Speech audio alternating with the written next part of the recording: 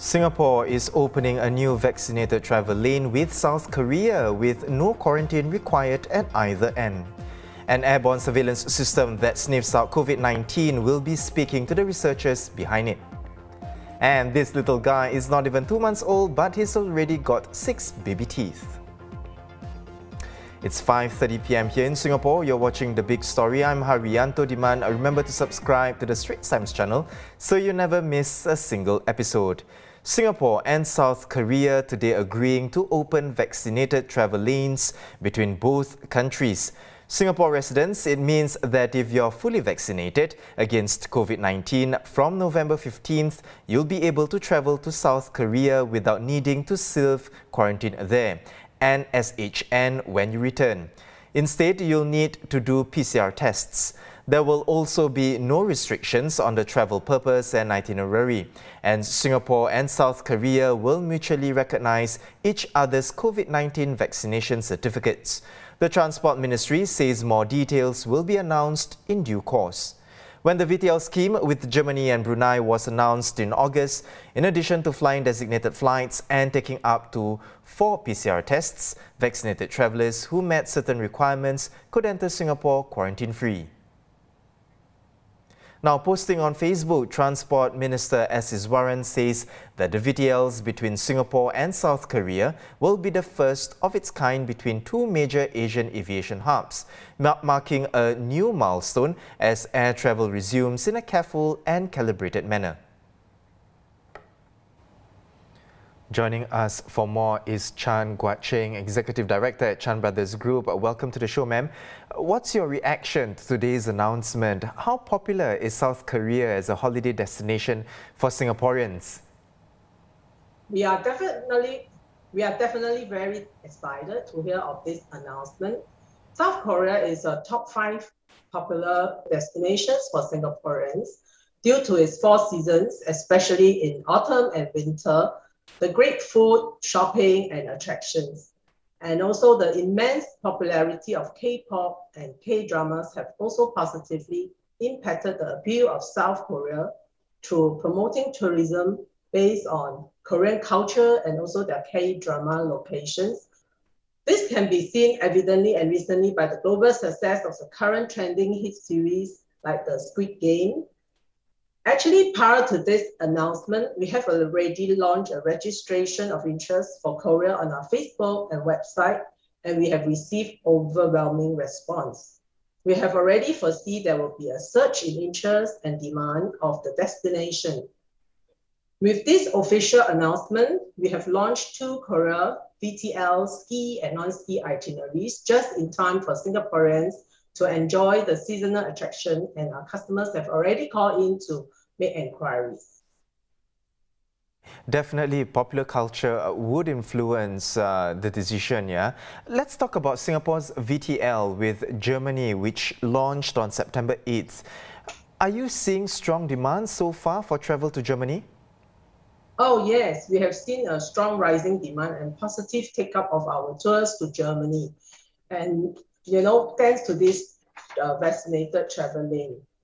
In fact, we are sending our first tour group to Germany next week, next Monday, and this will be the first full-size and biggest tour group from Singapore traveling under the VTL. This group of 20 tra travelers indicative of 100% take up of uh, the maximum group size of 20 travelers signals the green shoots of travel recovery. We are heartened by the vote of confidence travelers continue to put in Brothers Travel, and they can expect us to roll out more itineraries soon on Germany and other destinations. Certainly very exciting times ahead, Guat Cheng. Thank you so much for coming on to the show and uh, certainly all the best with the upcoming tour to Germany. That was Chan Guat Cheng, Executive Director at Chan Brothers Group. More VTLs are expected to be on the way. Speaking in Washington, D.C. yesterday, Trade and Industry Minister Gan Kim Yong said Singapore is working on establishing a VTL with the US and wants to conclude it before the end of the year. Although new cases, hospitalizations and deaths are falling there, authorities say the pandemic remains a potent threat. About 68 million eligible Americans have yet to be vaccinated, leaving the country vulnerable to continued surges. India will reopen for tourists from October 15th after being closed for more than a year. Following a spike in cases earlier this year, infection numbers have since fallen sharply. And the government, under pressure from the tourism industry, announced the loosening yesterday. Tourist visas will be granted for foreigners arriving on charter flights from October 15th and from November 15th for those arriving on other flights. Back home, 60 F&B outlets have been penalized for breaching COVID-19 rules since mid-September. 36 were ordered to close temporarily and these include repeat offender Kopitiam at Tampines Mall, which has been closed since September 24th. Now it will reopen on October 14th. Toastbox at City Square Mall was also ordered to close from October 2nd to 11th. Another 21 outlets were fined, including popular haunts like Dumpling Darlings at Amoy Street, Putian at Parkway Parade, and Sunday Folks in Chip Bee Gardens. And three pivoted nightlife establishments had their food licenses permanently revoked. They are Mong Sakon and Prajin Karaoke at Golden Mile Complex and Paklato at Park Lane Shopping Mall. 3,483 new COVID-19 cases were reported yesterday. 2,783 in the community, 692 from the dorms, and 8 imported. Three more deaths were also announced. 1,534 cases were in hospital as at yesterday. 297 patients needed oxygen support and 40 in ICU. Of those very ill, 281 are above 60 years old.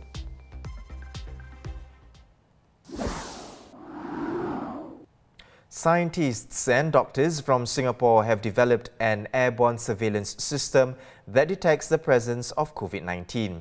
And this is what the device looks like. The team from the Singapore Centre for Environmental Life Sciences Engineering at Nanyang Technological University and the NUS Yong Loo Lin School of Medicine trialled it into inpatient wards of a local hospital caring for active COVID-19 patients.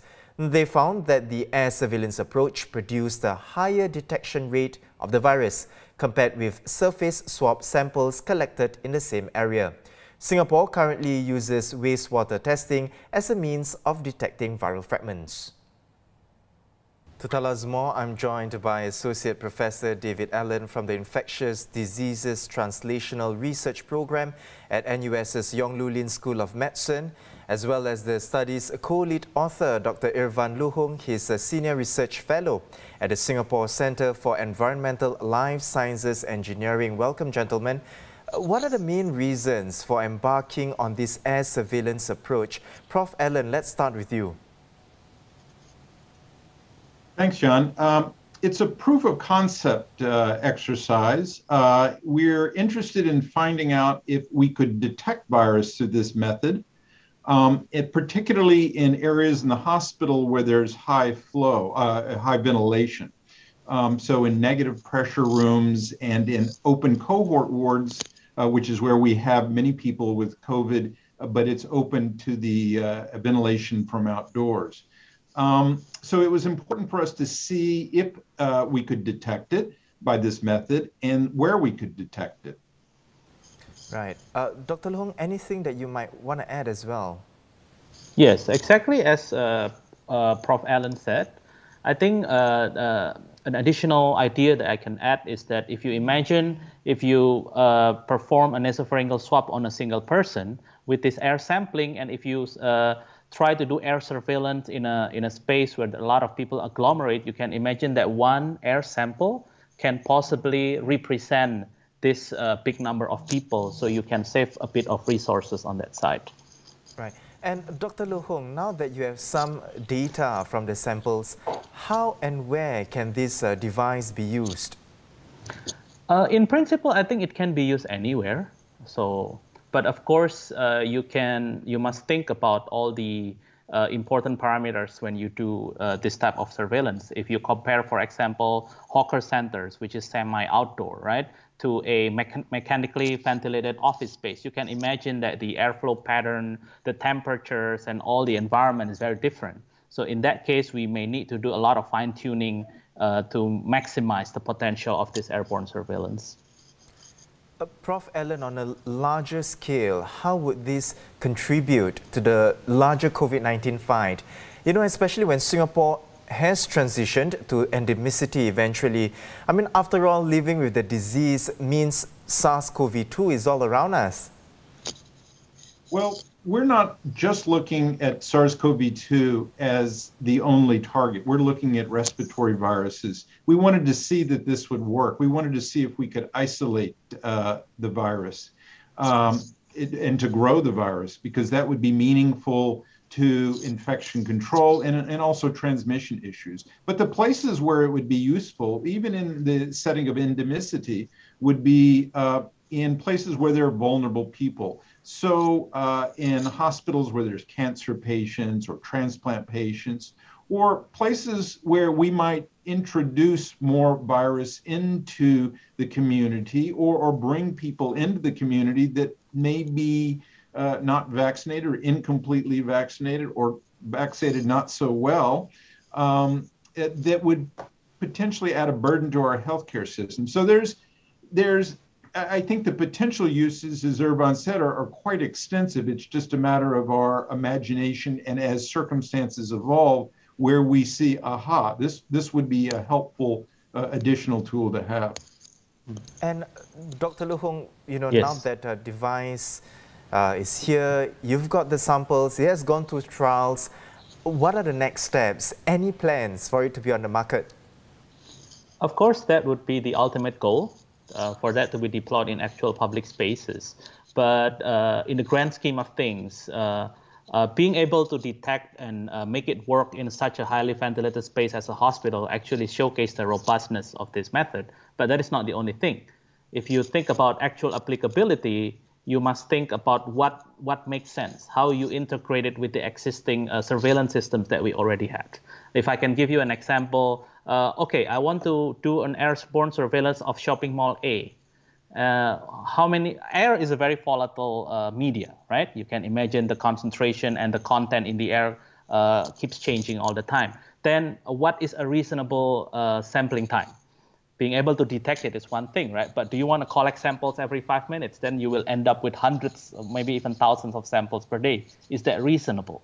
Or maybe it's more reasonable to collect it uh, in a few hours per sample or something like that. All this requires a lot of uh, fine tuning and also uh, preliminary trial uh, experiments. And I think that would be the next steps that can be improved.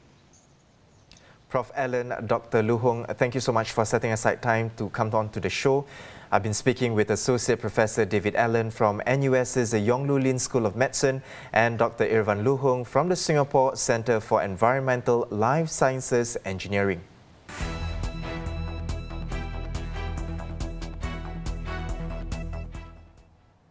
Wrapping up today's other headlines, a man was found dead in a bedroom after a fire broke out in a Jurong West HDB flat. According to preliminary investigations, the fire was of electrical origin from a PMD. Another man had been evacuated before SCDF personnel arrived and was taken to Singapore General Hospital with burn injuries. Singapore's giant panda cub is not yet two months old, but surprise, surprise, he's already got six baby teeth. Wildlife Reserves Singapore says the appearance of teeth is earlier than expected, as baby pandas usually start teething when they are about three months old. The cub, yet to be named, should start attempting to chew on bamboo at the age of about seven months.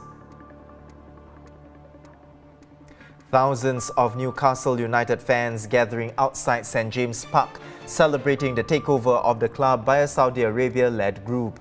The new owners say the deal would mean long-term investment to harness the club's potential.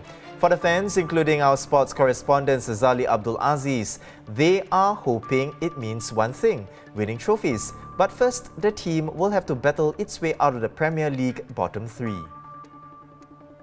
I think a lot of people are, are talking about you know how Newcastle's wait for a trophy will end soon. You know, people are imagining who the club will sign with their new financial might. Uh, but I think I speak for a, a sizable number of Newcastle fans who are simply just relieved uh, we are no longer under the ownership of Mike Ashley. Uh, his 14-year reign was was painfully unambitious and, and sucked the joy out of supporting the club for many fans. So much so that uh, many decided to walk away uh, and only return once he left. Uh, plus, the reality of it all is that you know he relinquishes control of the club while we are, uh, you know, precariously placed on the Premier League table uh, with an underwhelming squad and an underwhelming manager at their helm. Uh, and I think the immediate priority uh, is to address this before thinking ahead about signing mega stars or winning Champions Leagues or so on. Um, and and also having said that, uh, recent history with clubs bought over by rich owners like Chelsea, Manchester City, and, and Paris Saint Germain have shown that you know there isn't always immediate success, and there may well be pitfalls along the way, meddling owners and, and so on, disrupting harmony in the team. Uh, but if there's one thing Newcastle fans uh, have developed over the last decade and a half uh, it's a strong resolve, even when things uh, are not going their way. So, again, like I said, you know, it's, it's uncharted territory right now. And even if things are not smooth sailing all the way under this new ownership, I'm sure we'll be able to weather the storm just fine. Now, before I go, Philippine journalist Maria Ressa has jointly won this year's Nobel Peace Prize alongside Russian journalist Dmitry Muratov. The Norwegian Nobel Committee chairman saying that both are receiving it for their courageous fight for freedom of expression in their countries. For more news and videos, visit straitstimes.com and subscribe to our YouTube channel by hitting the red button below. I'm Haryanto Diman. Thanks for watching The Big Story and I'll see you next week.